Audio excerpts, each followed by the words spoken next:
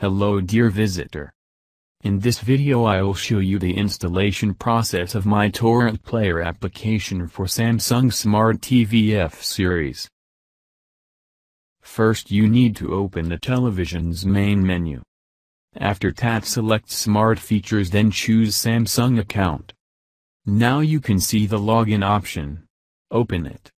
You need to enter the develop in the email field. Password not required. I'm already entered it, so I just press done button. That's it, you are logged in as a developer. Now, let we see the installation process. Press Smart Hub button on the remote then navigate to more apps.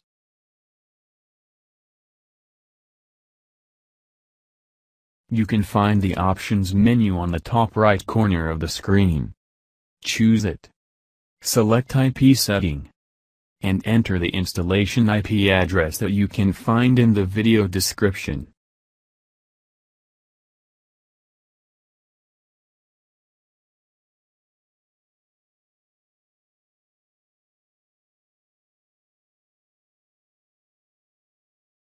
Choose Start App Sync to begin White Raven installation.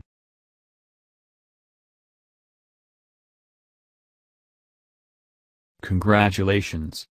White Raven is now installed on your television.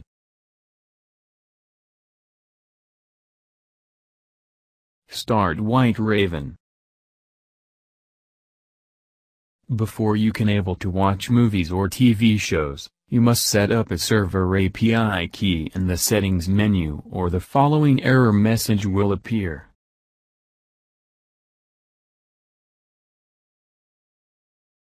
Open Settings menu and enter the demo server key from the video description. This is just a limited key for test purposes. You must have your own key for further usage. Visit my Patreon page to read how to get one.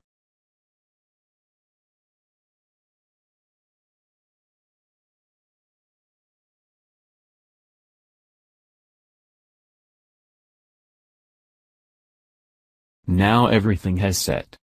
Let's test some videos.